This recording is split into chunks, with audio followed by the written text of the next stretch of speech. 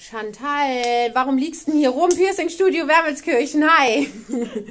Hast du Schiss? Ja, Ja, okay. Es gibt jetzt was? ein Bauchnabelpiercing. Bauchnabelpiercing. Okay, du bist bereit. Wie alt bist du? 14. 14. Und du hast deine Eltern bestimmt lange überredet, bis du durftest, ne? Ja, Ja. armes Kind, hör mal. Ja. Aber wir stechen auch erst ab 14. Genau, schon sind Oh, stark. du bist so nah. Ich warte so jetzt.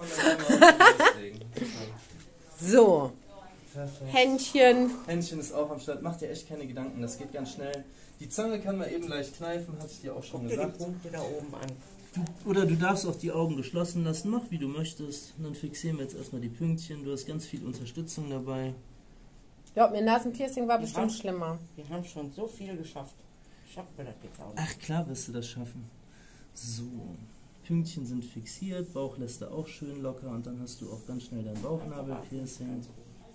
Und Bauchnabelpiercing ist gestochen und du hast es geschafft. Geschafft. War schlimm. Nee, eher der Schock.